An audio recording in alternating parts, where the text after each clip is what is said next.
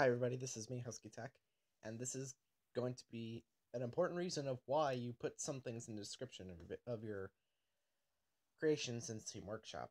So, there's this game called Brick Rigs that, as you know, I made a couple videos about, and while they're not very popular, you know, they do get some views and comments.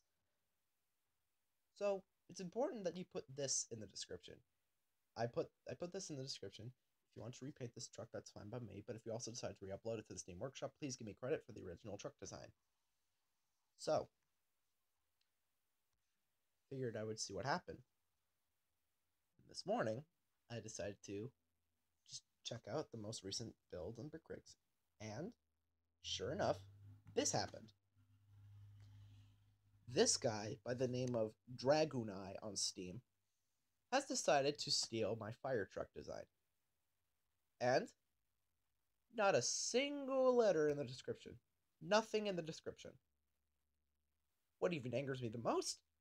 Someone has subscribed to this. Because they probably have no idea that this guy has stolen the fire truck design from me. But he didn't just do it to this one. He did it twice. He stole two of my fire truck designs, both of which I spent at least two hours working on ah. And I'm not happy about that. And he was the last online 9 hours 26 minutes ago as of me recording this.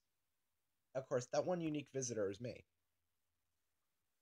And I am not happy with this guy because, first of all, he copied my fire trucks without asking me. Second, didn't even attempt to put a description in or give me credit. So, I'm not very happy. Because, like I said, I put hours of hard work, taking time out of my day to make these fire trucks, and this guy just takes a minute to download it from the Steam Workshop and then decides to upload it as his own creation and just doesn't even attempt to put in a description.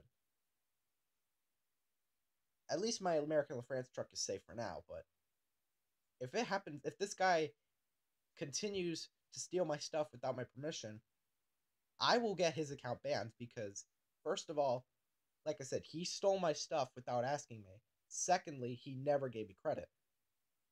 And, like I said, he's not going to be doing this again. After he's, if he's, if you see this video, Dragonai, do not steal my stuff. I even specifically put it right there. Please give me credit for the original truck.